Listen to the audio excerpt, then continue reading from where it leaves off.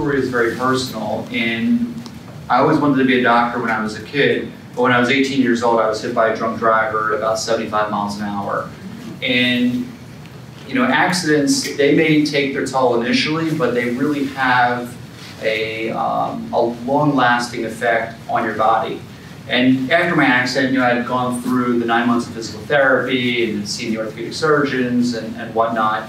And I'd gotten to a point to where you know, things were sort of okay, but they really weren't great. I mean, especially after being in med school and studying, I usually felt like my um, shoulders were implanted into my ears for days afterwards and I started to develop very severe headaches. Um, and this was just kind of like the norm for me. I'd go to the doctor's student health at Hahnemann, which unfortunately is closing, as you all know, and um, they really didn't know what to do. And eventually I had sinus surgery to see if that would help, and didn't really help. And I'd just gone through um, seeing a number of different physicians. I really wasn't one for opioids, and thank God the opioid epidemic wasn't as rampant as, as it is now. I really didn't want to take pain medicine. I would try to take some Advil periodically or try to hide underneath the covers is usually what I would do after an exam and, and pass out. So I didn't really have such a fun life. Um, nevertheless, I had heard that Dr. Koop had had these treatments for his spine in the 1960s and uh, they were the, the uh, less advanced form of what we do today, but it was still extremely effective for him. And he actually became my patient in the early 2000s, and this is the first time that he needed a touch-up was years and years later, which was pretty impressive. So I began to research what he had because it was coming from the Surgeon General. I thought there was legitimacy to this. It just wasn't some kind of you know nonsense snake oil thing that he went for something and he got better. I thought it was a pretty reputable guy and uh, you know I could learn something from him, even though this was a case report. So anyhow, there are many options for pain, and um, as I mentioned, you know, I did go through uh, several of them, especially more of the conventional medicine uh, treatments with anti-inflammatories and pain medicine and physical therapy. And then, as you can see, you know, things progress, and if these initial things do not work, then sometimes patients end up with uh, back surgeries, um, which unfortunately today I just saw a um, physician in my office who he has uh, multi-level um, fusion with disc replacements above and below, and he still has extreme radiculopathy and neck spasm and tightness. So unfortunately, sometimes we see these cases that are patients who have already gone through surgery, and they're still having a lot of pain and a lot of disability, and it's a shame. Yesterday, I saw a woman who had meniscal replacement, sorry, meniscal debridement um, about eight years ago. And now her knee is really bothering her. And for the past few years, you know, she's tried the hyaluronic acid injections and um, has had cortisone injections. And these really have stopped working for her. And our job is to try to prevent knee replacement on term. Um, she doesn't want to have it. She works as a nurse. She's very active and wants to maintain that activity. And she's only in her 50s, so to have a knee replacement at this age is probably the best thing. Um, unfortunately, you know, as time goes on, we learn more, and meniscectomies were all too common. And now that we're learning that the data shows that it unfortunately hastens the need for knee replacement in patients who are arthritic. So we need to rethink a lot of these types of treatments that are going on. And unfortunately, patients think that going you know, for surgery is like going to Home Depot, where you kind of go in, you kind of get your nuts and bolts and screws and walk out and everything's fine. And it really isn't like that for um, many of the people that I see. Uh, and then also we have the alternative therapies, which a lot of people are trying on their own, like acupuncture, massage, chiropractic, uh, different supplements, which are typically you know, some form of anti-inflammatory um, whether you know working on different pathways like COX2 or or just working um, generically over the system. And sometimes they work and sometimes they don't. And then what I specialize in is working um, with regenerative therapies. So typically the patients that I see have kind of already marched down the line and they usually have tried everything. Um, when they may or may not have had surgery. So a lot of the patients I see would like to avoid surgery as well and have something um, other than surgery. So anyhow, uh, this is the topic of regenerative orthopedic medicine, and I think it's, a, like I said, it's an up-and-coming topic, and um, getting more popular because of sports stars and um, other people using it and having success. Um, unfortunately, there's been a lot of negative press as well for some people who've used it unscrupulously, and that we can talk about because there are FDA regulations surrounding this. So anyway, um, there's many different things that can be used in order to try to heal one's body.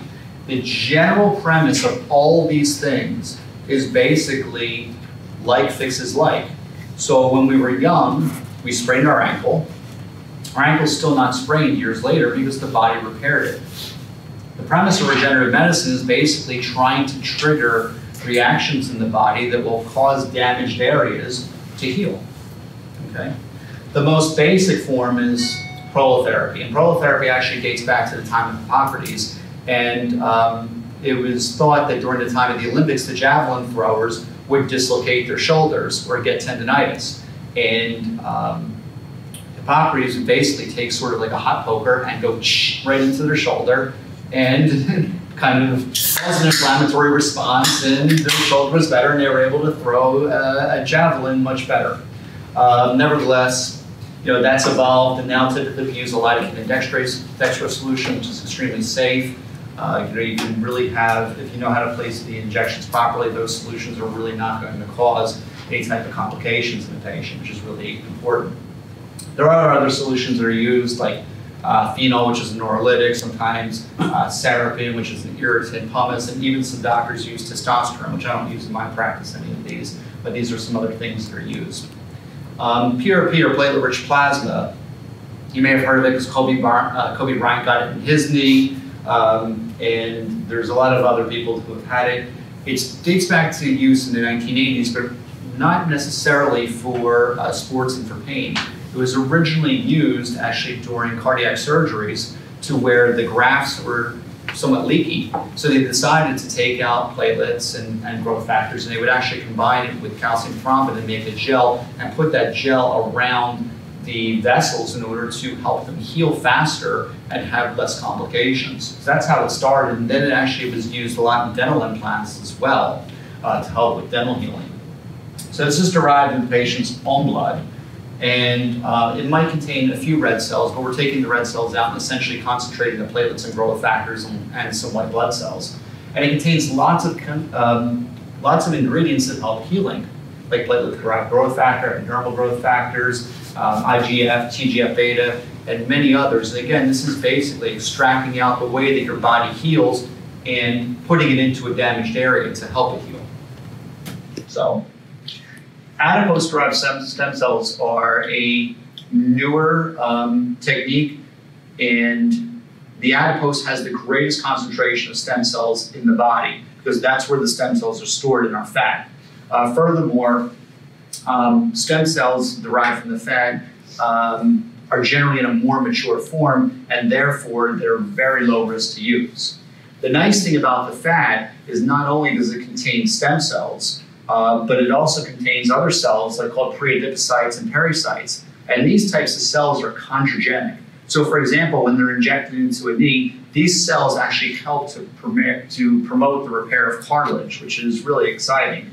Um, bless you. So they really have a multitude of uses. Furthermore, you know, fat in itself can be somewhat of a cushion for a knee, just like a hyaluronic acid, but it's much more dense, and it comes from the patient.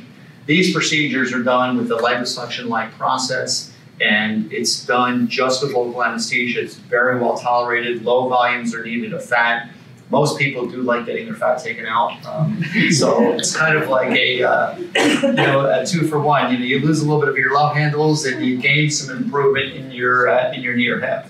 So that's good. But there are FDA regulations around this, and um, the FDA requires that tissue to be transplanted be minimally manipulated and homologous of use. So we can use fat into a knee because it provides a cushion, um, and we can minimally manipulate it, meaning that we can use certain processes to break it down, but we can't add enzymes to it or things like that. And um, these procedures now are not allowed by the FDA. We used to use them, and they, they really work very well, but we stopped, and I engineered a new technique um, for using it and using FDA cleared devices. So, um, you know, there's regulations that have come up, not necessarily because these procedures were bad, but unfortunately, the people that were using it weren't using it properly and created problems, and then you know regulation steps in. There are other biologics also, like amniotic membrane, um, which you know people think of stem cells. I use a lot of this. I think it works really, really well, and I'll explain to you why as we go and talk about the biology behind this. But amniotic membrane really doesn't contain any cells. It contains growth factors.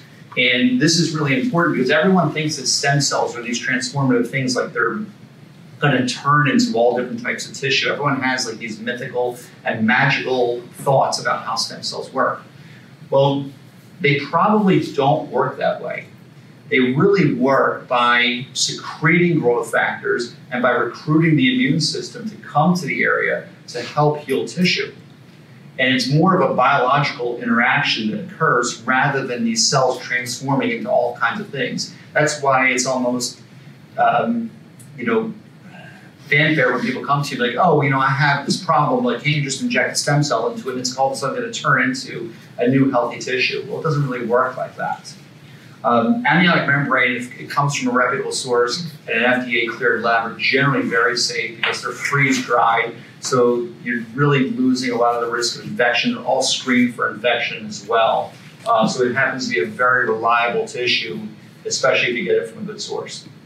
Wharton's jelly and chorionic products, again, come from uh, placental tissue. They do contain live stem cells, but again, um, it's difficult to say if these are really allowed by the FDA. They really don't have an IND. I don't use them. It's very sketchy whether we can use these in clinical practice or not. You know, some people think that they're using them as a practice of medicine. They're a doctor. They can do whatever they want. Um, but these types of products and um, other things like exosomes, people are using to derive from human tissue. Uh, but again, there's really no regulation behind it. There's no IND behind it. So legally, you know, I don't think that they really fit within FDA requirements. Uh, furthermore, they need specific cryopreservation, uh, and you have to have specific equipment to keep them, or else they really will be ineffective. So anyhow, um, the really neat thing, you know, I like biochemistry, and the really neat thing is how do these things work? And they work by using, as, as I said, different growth factors. So for example, TIMP1 and TIMP2 inhibit metalloproteinases. And metalloproteinases within the joint are very inflammatory and cause degradation. Isn't it great that now we have a way to shut them off? Some of the other growth factors that we use stimulate hyaluronic acid production within the knee. Now we know a lot of patients get wear, you know, their effects wear off from HAs, but what if we can put something into the knee that, can, that basically stimulates the production of HA, along with reducing inflammation? Um, so I think that these things are really interesting because of the biology. And you can see here, like we have IL-1RA, which is a potent anti-inflammatory. Um, I don't know if anyone's ever heard of the orthokine or regenokine treatments that were done in Germany um, by Dr. Wehling, who had treated a number of uh, professional golfers. Um, and he basically takes blood and, and concentrates IL-1RA and injects it into people and makes them feel better for about six months to a year using this type of treatment. Um, but the rest of this is also uh, with stimulating angiogenesis, vasculogenesis. As I said, injecting blood into a joint may not be helpful, but if you can get the immune system attracted into an area and start to stimulate angiogenesis and get the repair into a tissue, then it helps to heal it over time. So we all went to gross anatomy, we all looked and dissected down, and we saw that ligament tissue and tendon tissue is white, right? It's not red and bloody, it's white tissue. And it's white tissue because it has a very poor blood supply. These tissues get damaged and injured, and often when we get older, they don't heal or they break down because of a lack of a good supply of circulation and growth factors. So this is essentially providing growth factors into these damaged areas to help with the healing process. And the nice thing is the healing process is natural, it's not synthetic. So we don't develop scar tissue or anything else like that in the areas that are treated. So the most important thing that I learned as a resident is that you have to learn what the problem is. And you learn most of what you need by talking to the patient and examining them. And this, unfortunately, is something that's lost in art and in some of the subspecialists, especially when people come to me with orthopedic problems. And it's almost every day where I hear that, oh, you know, the doctors looked at the x ray or MRI and they didn't really examine me. And you know, I don't know how you're going to find out what's wrong with the patient, especially in a five-minute visit, just looking at an X-ray. So talking to the patient is really a wonderful thing because you learn what their problem is, and they almost tell you what their diagnosis is, and you can figure things out over time. Observation, I like to watch how a person walks because you can see things in their feet and ankle and hips and with the pelvic tilt and see how their shoulders are. It's almost every single day. I'm going to show you slides on this. I have patients who come in like this almost every day. Um, I like to do a very detailed palpatory physical examination because you need to feel the joints and feel the ligaments and tendons and things like that. And um, if anyone wants, they could always visit me in my office and I can teach them some of these things and also show my pelvic tilt treatment, which we'll talk later about. Of course, we're going to take in consideration their x-rays or MRIs, but we need to take those into consideration. Every radiology report says everything needs to be considered within the clinical subset. So we need to use our brains, not just look at the test and say, okay, well, this is your problem. Because I can tell you, if I treated my back pain patients based upon their MRIs, I'd probably only be about 20% successful. And that would make people very happy. So we're going to talk about arthritis and meniscal tears first. And obviously there's different types of arthritis, whether it's you know, inflammatory or infectious or degenerative. And the neat thing is, is that both types of these things, well, well, infection treatments, you know, infection we really don't treat as well with regenerative medicine, but some inflammatory conditions, because there are anti-inflammatory factors in the things we use, can help patients with rheumatoid um, and can help patients with psoriatic arthritis. Degenerative conditions are not just wear and tear, and there's more research showing that we also have patients who have family histories of arthritis. What's going on with them? We know that these people have an abundance of inflammatory cytokines in their joint, and the way that regenerative medicine may help them is not by just rebuilding the, the degenerative region from wear and tear, but also by modulating their cytokines, which I think is really neat because we can actually stop the process. So here you can see arthritis of the knee, and you see on the left side we have what looks to be healthy cartilage and healthy bone, and then there we see very commonly where the medial portion of the knee starts to wear. And it wears, as I said, not just from a loss of structural support, which I'll show you where we see a lot of things happening, um, but also from inflammatory mediators, and they start to break down the cartilage and the bone and cause problems. So we want to try to regenerate as much as possible um, of these areas. Interestingly enough, there's a very strong ligament that runs on the inside called the medial collateral ligament. And I can say that probably 95% of the time when I see patients with osteoarthritis, they have damage to their MCL, which is subacute, never shows up on the MRI, is always there, is always very painful. If you ask your patients with knee problems if they have trouble going up and down stairs, most of them say yes. Right. Most of them say yes. And most of that problem is from damage in the MCL. Therefore, if we can reconstruct and regenerate the MCL, it's like rebuilding the person's own internal knee brace. So you give them a knee brace, they may feel better, but it is clumsy and uncomfortable. But we can rebuild the MCL using regenerative medicine as part of the process. You're giving the person that brace back, and then they can start to go up and down stairs more normally, which is really a wonderful thing. So here's a study, and again, I, you know, I think it was important to look at things like this on a biochemical level. And if you look at the conclusion, it basically said that PRP helped with the proliferation of chondrocytes, decreased apoptosis, and increased autophagy, basically taking the debris out, putting new tissue in, and helping to grow cartilage. And this is all done through basically decreasing metalloproteins and helping to increase growth factors within the joint. So I think it's a really neat thing to look at the biology behind things and see how you know our body really does have the ability to cure itself or to at least help itself get better. So this is a study that I published, and as far as I know, it was kind of the first of its kind. And we were really lucky in being able to do this because the, the patient that we had was really very pro stem cell, and he wanted to see what would happen. And he was willing to undergo before and after arthroscopy of his meniscal tear. Okay? So, anyhow, in this study, what we did is I harvested fat out of him. We prepared the fat um, using enzymes to get this, the uh, stromal vascular fraction out, which, as I said, contains growth factors, stem cells. It contains the pre-adipocytes and the pericytes. And he was injected into the joint around where the meniscus was damaged. And he also um, received subsequent treatments of PRP, the platelet-rich plasma, every few weeks. Okay, and the, this just describes like how we um, how we prepared the sample. The neat thing is, is that when we went back and looked, you could see in the probe that his meniscal tear is pretty much gone. It healed. so I thought that that was really good, and his symptoms were gone, and he was um, back on the ski slopes and doing everything that he loved. At you know 58 years old, he was extremely happy about this because otherwise he was facing you know a lifelong pain and disability, and we changed that and gave him his function back, and again restored the tissue. Yes.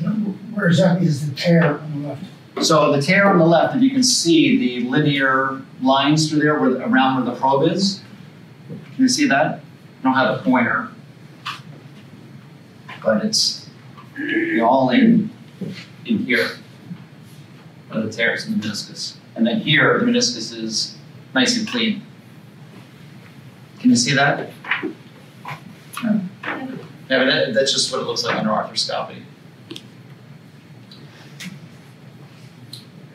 And I also, I wasn't the, I mean, this is verified by an orthopedic surgeon as well, so it's not just my little uh, conjecture, you know, because she looked all around his knee and, and his knee really looked great. So again, a really important thing, and I'm going to talk touch on this a little bit later, is biomechanics as well. So with a person's knee, you can see when their pelvis tilts, their knee rotates in, and it puts a lot of additional medial pressure on the knee. And this is why I think in evaluation of patients, it's so important to look and see how they're standing and they're walking, because any pelvic tilt or laxity in the ankle or laxity in the foot with a collapsed arch is going to rotate and put additional pressure and torque on the knee. So we can fix the knee as good as we like, but if we don't take care of these underlying problems, the patient's just going to re-injure because you haven't corrected the biomechanics. So I think it's extremely important to correct the biomechanics of the patient, whether it's a knee problem, hip problem, or, back, or back problem. They all, you know, need the correction of biomechanics, and it's really, really important. And I'm going to show you a technique that I developed as well in order to correct this. So during this um, study where, um, where we published these results, uh, it was very well tolerated. There were really no adverse reactions other than soreness after the procedure, uh, which was somewhat minimal. Um, but again, the patient well tolerated. He didn't need any kind of pain medicine besides uh, some Tylenol. He did very well and continued to do well. And we said, of course, like any other thing that's that's new and up and coming, yes, we need more studies to validate this and show that it works on, on many cases. There are uh, studies that have been published by my colleagues where they've done before and after MRI in order to see meniscal tears improving. Um, that may or may not always work because sometimes you still have a lingering healing process and you might still see bright signals on the MRI that can be misconstrued as tears that aren't. Um, so arthroscopy is kind of the gold standard um, for this, but it's kind of hard to get a patient to be convinced to have before and after arthroscopy. So again, as I mentioned, you know, we really need to address everything in the knee and not just the joint. The biggest one that I always see is the medial collateral ligament, which is on the inside of the knee and kind of runs right along the knee joint runs down. Almost every one of my patients that comes in with knee pain has problems with the MCL. They almost always do. And if I just helped them with their intra-articular problem and avoided or ignored the extra-articular problem, the patient just wouldn't get better. Furthermore, there's a ligament here called the coronary ligament, which supports the meniscus. So you could have a tear in the meniscus, but it might be the pressure on the coronary ligament that's actually giving the patient pain. And there are studies, which I'm going to show you, that um, where they repaired the coronary ligament and the patient got better. So anyhow, uh, this page, this uh, study here was a double-blinded um, uh, trial using um, PRP and basically showed that PRP had a statistically significant improvement uh, when compared to hyaluronic acid or saline injections in the knee. And the result of the treatment lasted for well over a year, to where the other two groups did not have a long lasting result. So again, it's nice data to see, it was significant, and the patients had improved. So this was good, good level one evidence. This here is, is similar to what I mentioned before, to where the doctors knew and understood that the degenerative process is both intra-articular and extra-articular. So these physicians treated the patients intra-articularly with PRP, but also did treat along the coronary ligament and treated the MCL as well. And this was published this year, and these patients um, all had achieved a very significant improvement in their pain. And also, interestingly enough, anyone in the treatment group didn't drop out. So the patients were getting better along along the treatment, and they continued and stayed in treatment, which was nice. So back pain, I think we all have seen lots and lots and lots and lots of patients with back pain in our office. And statistically, 87% of Americans will experience back pain in their life, and often it can be very lingering. Uh, there's lots of different kinds of back pain, whether it's a sprain or a strain or some type of chronic issue like spondylolisthesis, which is a slippage in the spine, spinal stenosis, which is degeneration that, that presses onto the nerves. Uh, we see patients with compression fractures. Uh, unfortunately, there's other things that can cause pain as well that need to be ruled out, uh, whether it's uh, vascular issues, uh, because sometimes patients with vascular insufficiency in the legs may present with back pain. Patients with labral tears of the hip may present with back pain. And um, unfortunately, patients with metastatic cancer can present with back pain as well. A tethered cord is something that happens developmentally, not something that we see very often. So we already talked about the traditional approaches using anti-inflammatories and epidural injections, and I'm sure we've all had our patients go through the milieu of that with limited amounts of success or varied success, and then sometimes they need surgery and sometimes they don't.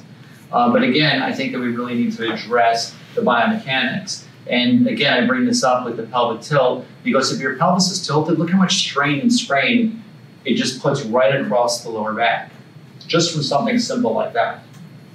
Now, this is a treatment that I developed with the tilted pelvis, and you can see how the patient is walking and she's really waddling very bad. This is a patient who has back problems and avascular necrosis of her hip.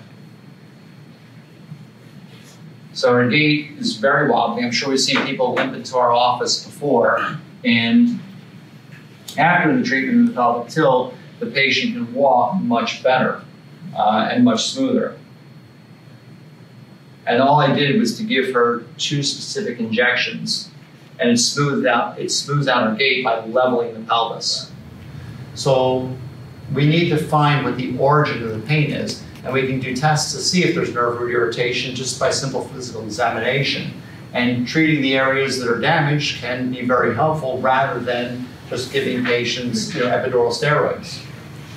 So the way that I like to give an analogy here is this is kind of like the Eiffel Tower. If you see here, the hips and the pelvis and the sacrotuberous regions are kind of like the base, and all these ligamentous structures flow up to the spine.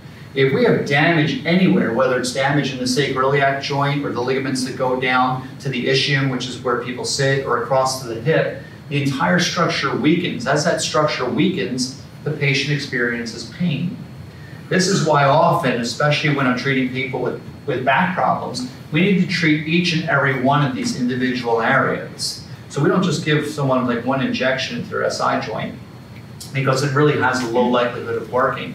When we give patients comprehensive treatments and treat all the ligamentous and tendinous origins and insertions, patients can get significantly better with their back pain and often have very long lasting um, improvement. So anyhow, again, it's not always the disc, um, but sometimes it is. So this is a patient of mine who's uh, 67 years old, an overweight male, unfortunately has weakness in his right leg in addition to back pain.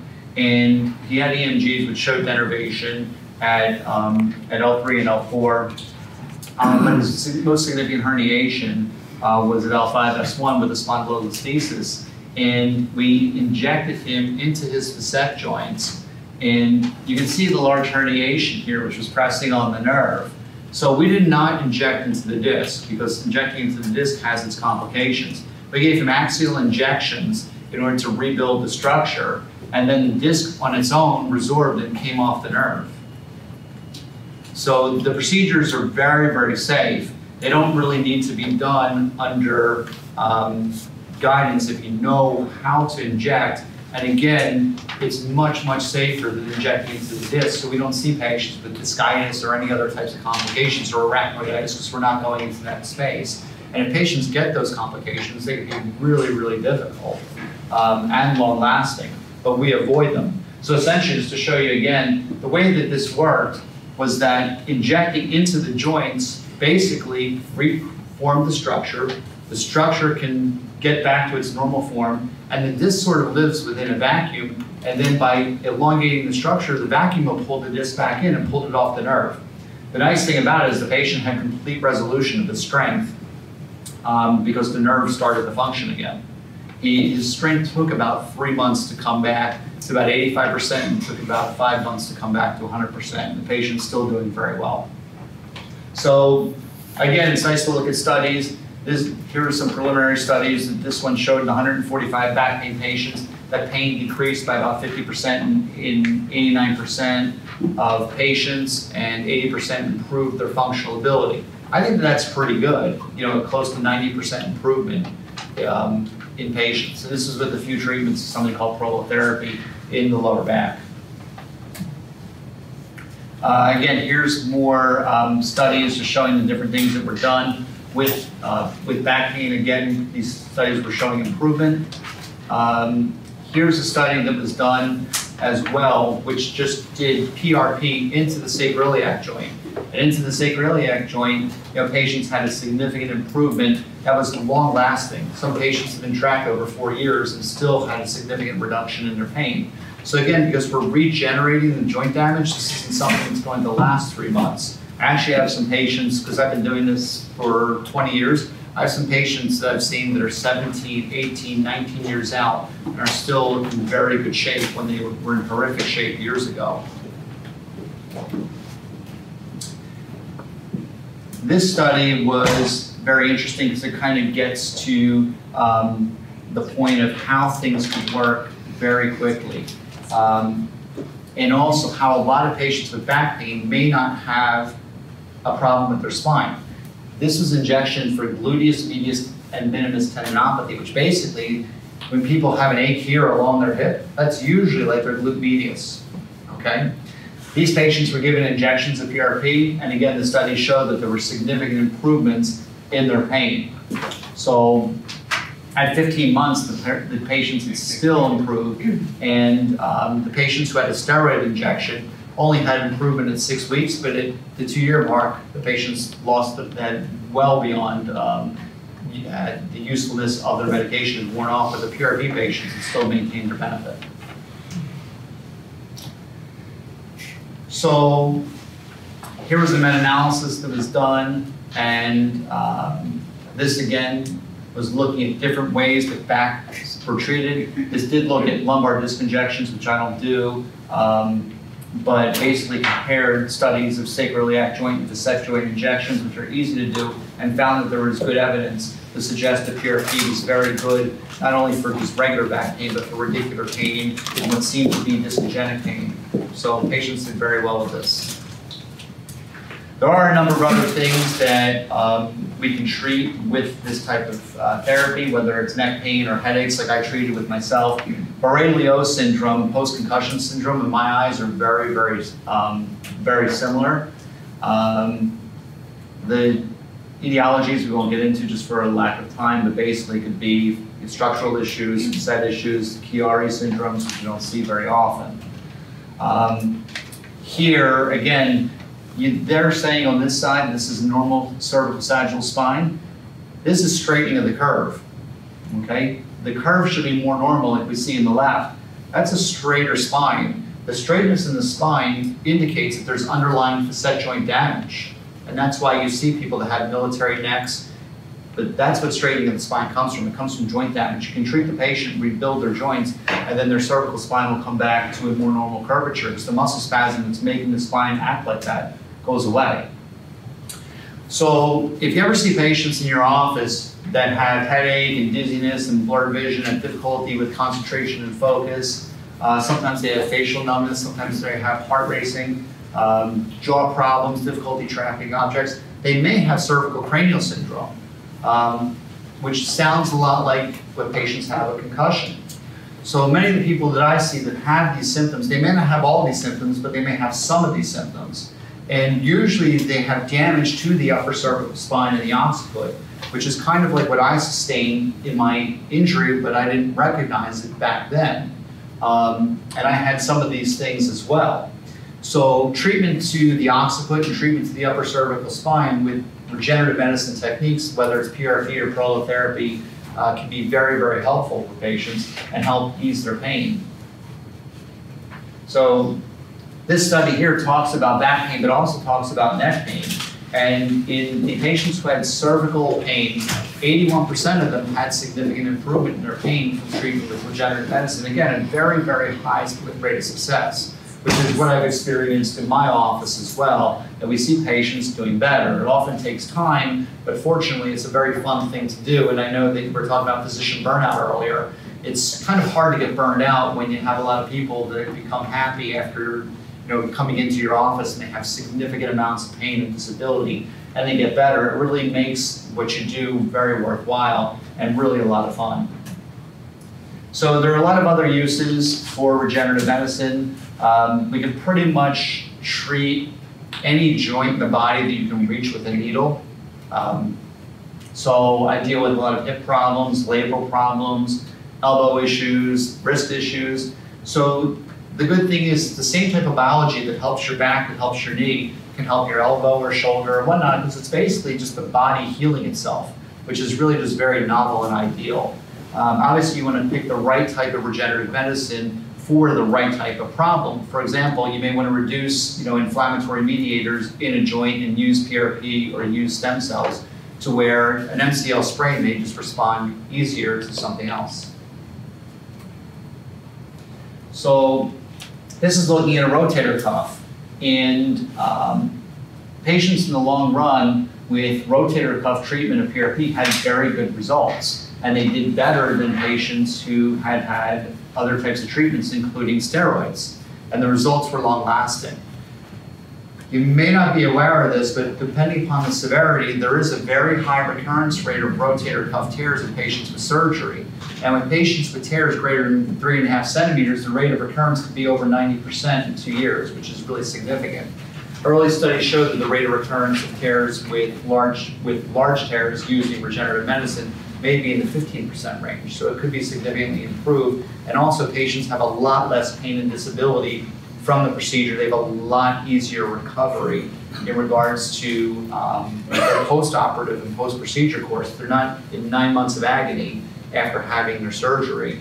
So we see a lot of really good um, improvement in patients. I've actually treated patients who have tears as large as five centimeters, which are basically seen as inoperable, and have been able to get their function back in their arm, which is really a blessing.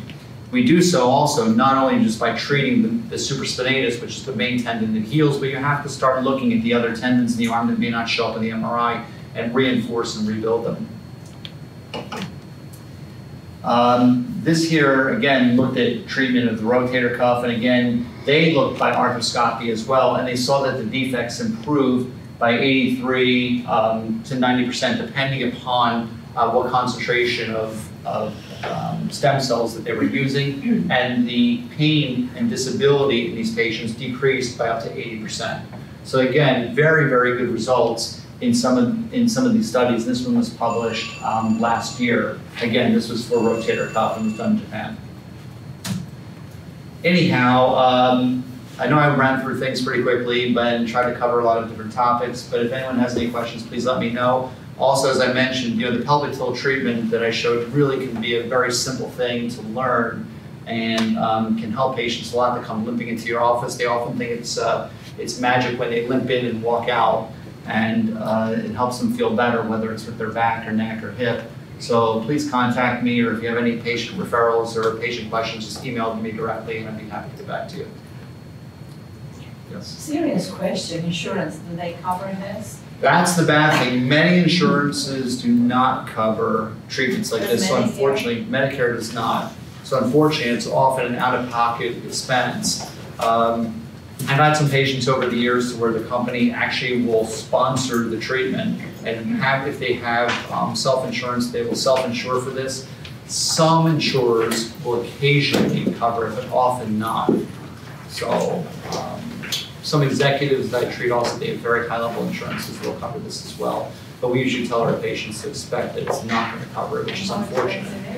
It? Depends, some treatments could be a few hundred dollars, some treatments could be a few thousand dollars, you know, it just depends upon what's wrong, you know? The chemicals or whatever you're using mm-hmm. depends from the actual injectable. Yes, so there's a big difference between using prolotherapy or Yeah. PRP or stem cell Yeah. procedures, and that's why we try to select what's the best thing for the patient.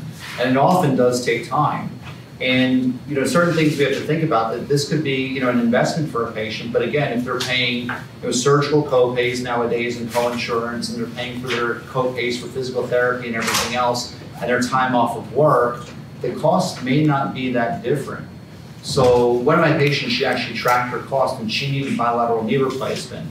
She was able to quantify between the time off of work that she would have needed for recovery, her surgical co-pays and and co-insurance, her physical therapy co-pays and everything, and her medications, that she was actually pretty much even with what she would have spent through insurance as what her treatment cost with us. It was still expensive, but How, how, how does it last? I mean, even that varies probably depending on, Sure, there's gonna be a variable, Yeah. just like with knee replacements, you know, some people may get ten or fifteen years out of it. okay. And since I've So been doing It's a this, matter of years, well, it depends, I mean, I'm twenty years out from my, from my treatment, um, and I have a lot of patients that have been out for a long time, you know, that have done great. When I've seen people with, with bad knees and I've seen them back ten years later for something else. So usually when we get it fixed, it can be a very long-lasting type of treatment, so. because cost is going to be a, Oh, cost is always an issue. It is, but look, you know, we- that's why typically the patients that we're seeing are more end of the line. They've already tried everything and nothing else is helping them. And usually by physical examination, by history, I'll know if we have a good chance of helping them or not. Because if we can't help them, then there's no sense in spending the money and going through procedures and, and time and, and what, you know, whatever it is. But if we can change it and change them for, you know, a permanent period of time, then it's really worth it. You get them out of pain, I mean, their whole quality of life comes back, so. uh, I'm sorry, she was nice. What's your age range of how young to how old? So I do see some young um, people, I I take care of a lot of competitive gymnastics, um, a lot of competitive gymnasts, and sometimes you see them as young as nine years old. Like I had a poor girl who had osteochondritis of her elbow at age nine. Um, so we see these young people, um, and a lot of the gymnasts I see are extremely high level. They're very competitive, like they're Olympic level kids, and um, that's kind of the youngest that we see. I've had some patients in their nineties also, and, um, you know, so it's really an age range, but most people we see are usually in their mid forties to, you know, mid seventies, eighties is, is typical. So, a lot of times also the young kids, and they really heal very, very quickly.